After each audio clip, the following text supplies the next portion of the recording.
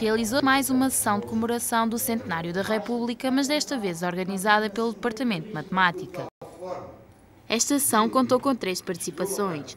O primeiro a intervir foi o professor Reis Turgalo, que falou da ética republicana e o regime republicano, abordando o caso de António José de Almeida, que foi mediático. O professor Teutónio de Souza, que se seguiu, abordou com base nas suas vivências a República Portuguesa em Goa.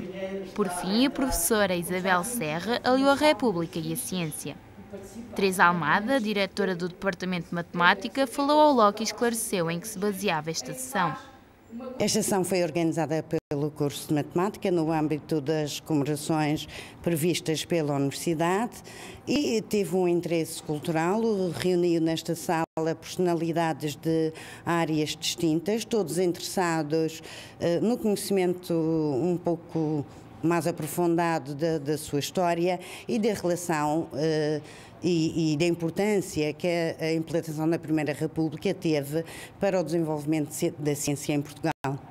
O auditório Armando Guebuza esteve composto com a presença de alunos e docentes da Universidade Lusófona.